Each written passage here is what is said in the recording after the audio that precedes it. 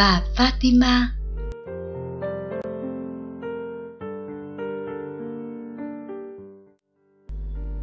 Trong giáo hội Việt Nam, tháng 10 là tháng kính Đức Mẹ cách đặc biệt.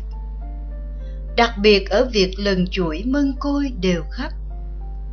Đặc biệt còn ở chỗ sốt sắng nhớ về biến cố Đức Mẹ hiện ra ở Fatima. Đức Mẹ hiện ra ở Fatima nhiều lần. Lần hiện ra sau cùng là vào ngày 13 tháng 10 năm 1917. Ở Fatima, Đức Mẹ đã cho con cái mẹ nhìn thấy một tình hình khủng khiếp. Nhưng đồng thời cũng đem lại cho đoàn con niềm hy vọng cứu rỗi. Những gì Đức Mẹ nhắn nhủ ở Fatima chỉ là nhắc lại những điều căn bản của phúc âm. Tòa Thánh đã công nhận biến cố Fatima. Trước tình hình thế giới hiện nay có khả năng bùng nổ nhiều bất ổn, bất ngờ. Tôi thiết nghĩ sự nhắc lại sứ điệp Fatima là điều hữu ích cần làm. Những gì tôi nhắc lại dưới đây về biến cố Fatima đều được rút ra từ tài liệu chính thức phát hành ở Fatima. Đó là tạp chí nói về hai Á Thánh Francisco và Jacinta số tháng 9 năm 2004. Tất nhiên, đây là những thông tin không buộc phải tin, nhưng nên tiếp thu, suy gẫm.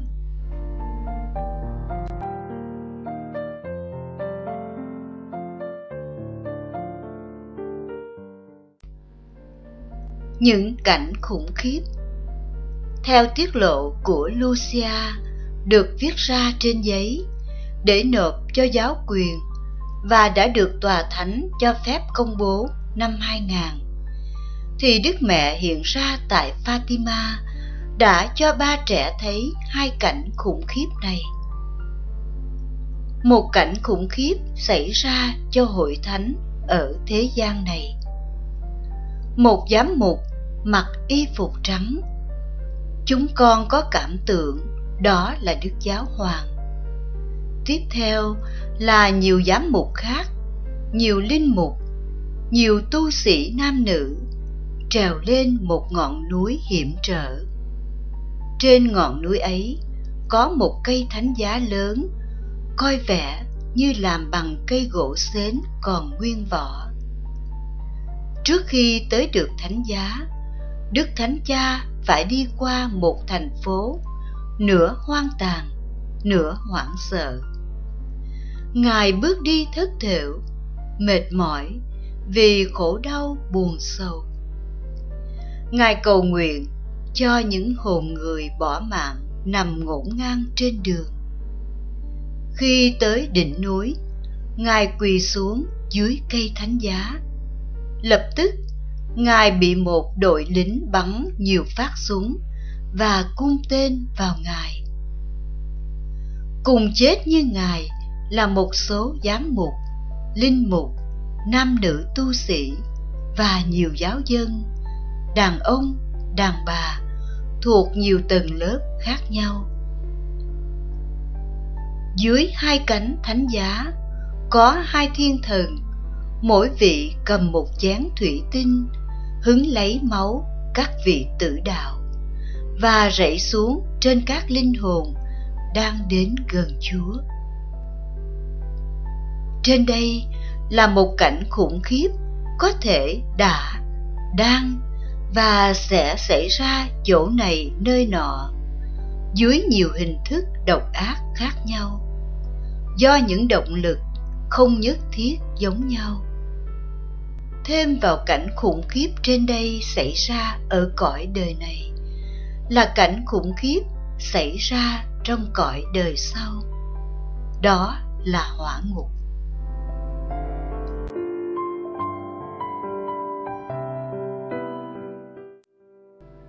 Trong thư lucia viết cho đức cha giáo phận của chị, theo lệnh của ngài, chị trình rõ, ba trẻ đã được đức mẹ cho thấy cảnh hỏa ngục. Chúng con thấy một biển lửa, bị giữ trong đó là những quỷ và những hồn bọn bị kết án. Những hồn này hình người màu đen họ lên bền trong biển lửa.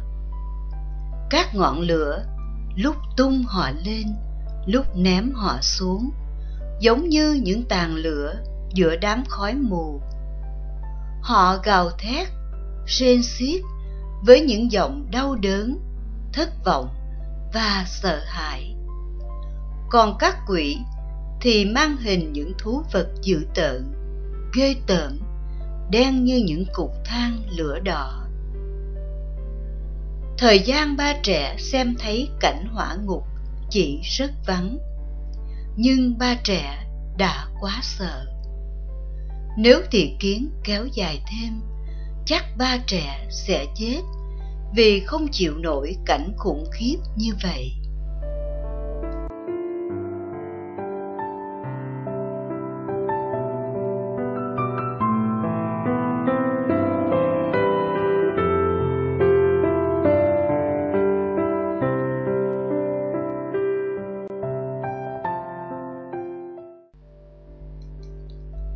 Những ngã đường để được cứu.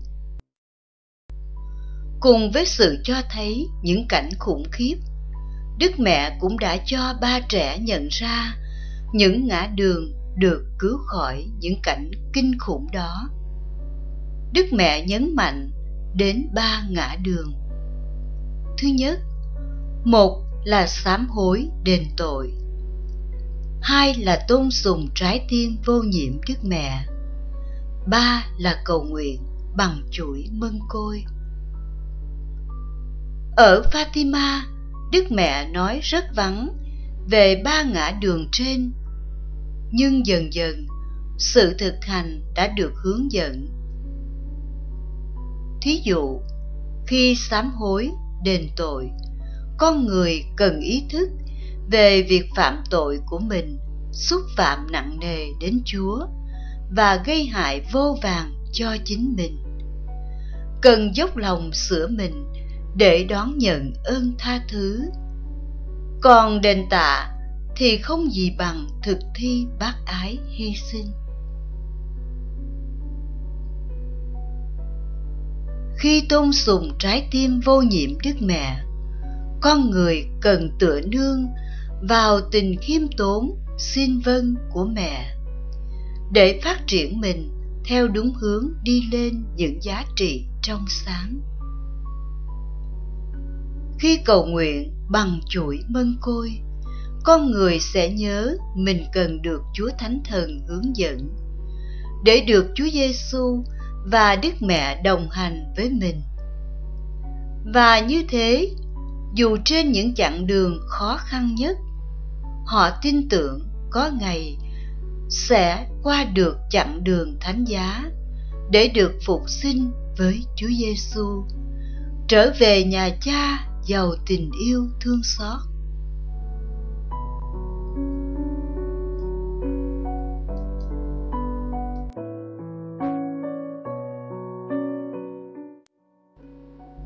Càng thực hành những gì Đức Mẹ dạy ở Fatima, người ta càng có cảm tưởng Đức Mẹ rất gần gũi mình.